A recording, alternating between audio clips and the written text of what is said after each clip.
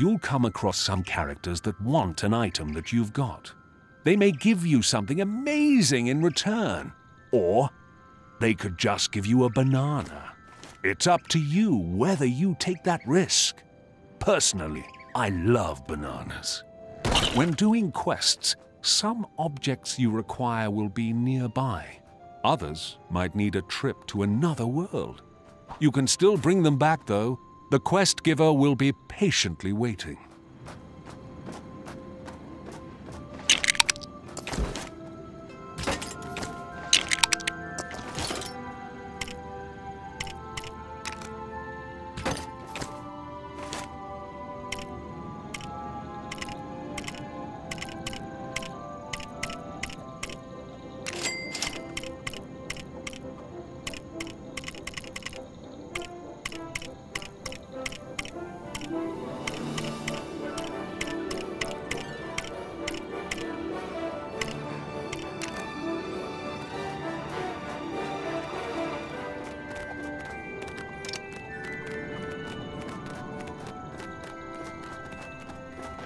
嗯？